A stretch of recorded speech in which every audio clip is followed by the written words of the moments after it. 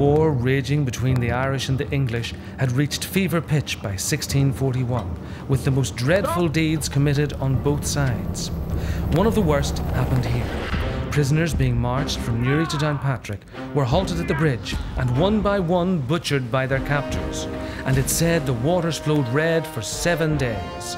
This place has been known as Bloody Bridge ever since. Ahoy there, me beauties! Over here, over here! These were the original booze cruises. Newcastle had nooks and crannies galore, a smuggler's treasure trove, tobacco, spices, but most popular, brandy, hauled up over the mountains to Hilltown, and hence that tortuous route is known as the Brandy Pad. But was it windy because of the steep slope, or because the lads had had a sup?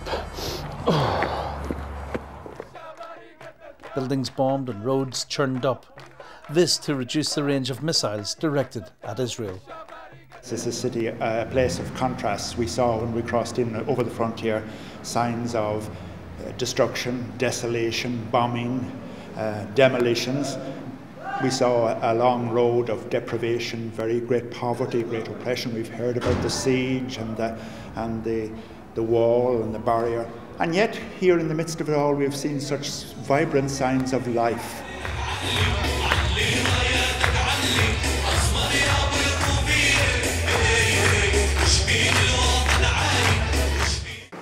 All the soundings that we've taken right across the community would suggest that tomorrow should be peaceful.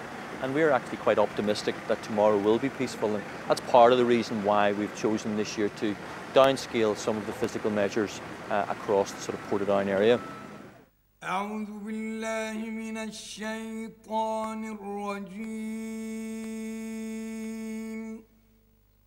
بسم الله الرحمن الرحيم Three, two, one, bang!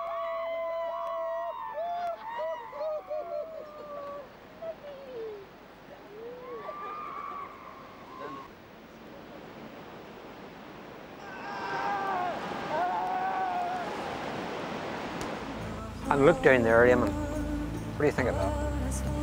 Oh, something dead down there. Well, dead animal in the corner. Uh, What is been- that? It's somebody just come up, dumped their their, their fallen stock here, uh, raw and getting rid of it. It's that cat. See, I can't, that looks like a dog to me. No, it's. You think that's a calf? Well, there's been a fire here as well, so it's it's difficult maybe just to to recognise completely. But it looks like a calf to me.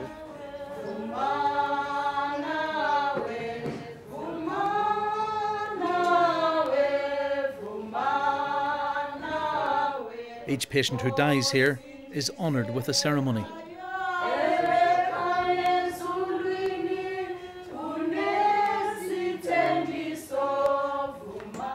All on duty staff attend.